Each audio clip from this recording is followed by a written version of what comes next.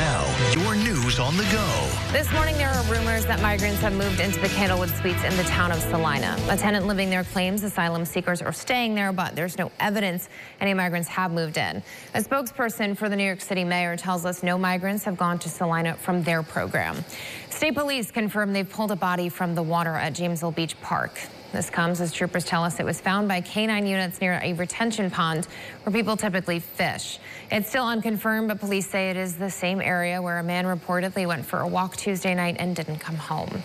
The Westhill School District has agreed to stop using the name Warriors by June 2025 unless an extension is granted by the Commissioner of Education.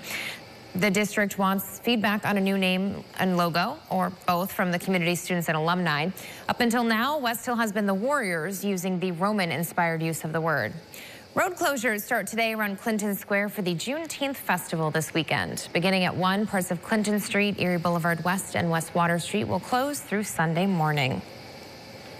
We have good news on the gas front this morning. One year ago today, Syracuse saw its highest average for a gallon. We were paying $4.97. Today, we're paying $3.68. That's a $1.29 less. The Subway Series is split. The Mets defeating the Yankees 4-3 to even up the rivalry. The two New York teams won't face each other again until the end of July for another two-game series.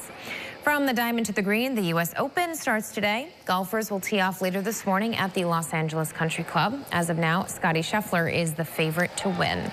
If you live in Lafayette or Tully, beware. A black bear is on the move. According to the DEC, it's maybe one or two years old and learning how to survive on its own. If you see it, they say take away any food sources, take down bird feeders, and don't leave trash out. Luke Bryan is playing it again tonight at the St. Joseph's Health Amphitheater at Lakeview. He's kicking off his country on tour right here in Syracuse. The concert starts at 7, gates open at 5.30, and at last check, tickets were still available.